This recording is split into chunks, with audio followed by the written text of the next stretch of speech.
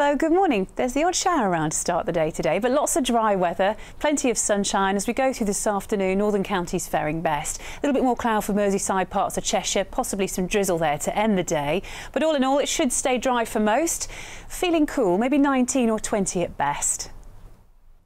Thank you. A very good afternoon to you. The best of sunshine this afternoon will tend to be for northern counties. Slightly more cloud around Manchester, parts of Cheshire, Merseyside. But it should stay largely dry this afternoon after a few showers through this morning.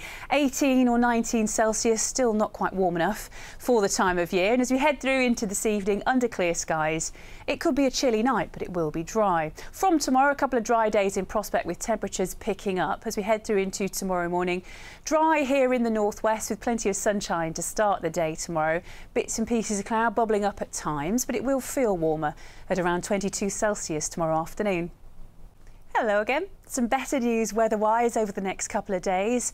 Much needed sunshine inbound here in the northwest for tomorrow and some good sunny spells on Thursday when temperatures will peak at the mid-20s Celsius, after which more unsettled weather moves in for this weekend. In the meantime, this evening, under clear skies, rurally it could dip to 8 or 9 degrees. There's a gentle breeze and it's dry for all of us as we head into Wednesday morning. Temperature-wise in the cities, probably staying at around 10 or 11 Celsius and it will feel warmer in general tomorrow. The sun rises at 5.38. It sets tomorrow evening at 8.53. Here in the northwest, plenty of lovely sunshine to start the day and it will be a dry day across the board.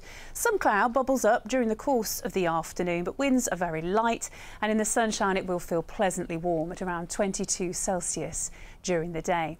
Looking ahead to Thursday, 25 or 26 degrees is possible with decent sunny spells. And then from Friday, a more unsettled theme returns. It'll feel cooler into the weekend. At the moment, Saturday, very showery, more sunshine on Sunday. Good night.